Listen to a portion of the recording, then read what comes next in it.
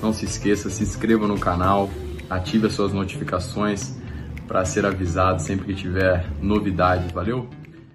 O meia Gastone Ramírez foi oferecido ao Mengão após seu contrato com a Sampadoria ter chegado ao fim. A informação é do perfil hashtag Rubro Negro, que cobre o cotidiano do mais querido. O portal entrou em contato com o staff do atleta, que confirmou os contatos do Rubro Negro. Gastone Ramírez chegou a receber uma proposta do River Plate, porém, recusou a oferta.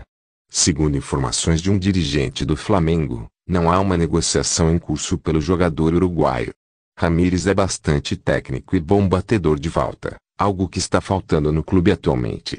Como já citado, os agentes do jogador confirmaram o contato e não pararam por aí, citaram também seus olhares diferenciados para o Mengão. O Flamengo é diferente, e quando tem o Flamengo, não tem como não dar mais atenção. Marcos Braz, em recente entrevista foi tudo misterioso sobre com quem o clube conversa. Disse apenas que o Flamengo tem três nomes na mira e que um ainda não havia sido entrado em pauta na imprensa. Como Thiago Mendes e Kennedy são interesses já noticiados, os indícios apontam que Gastone Ramírez pode ser o terceiro jogador em negociação.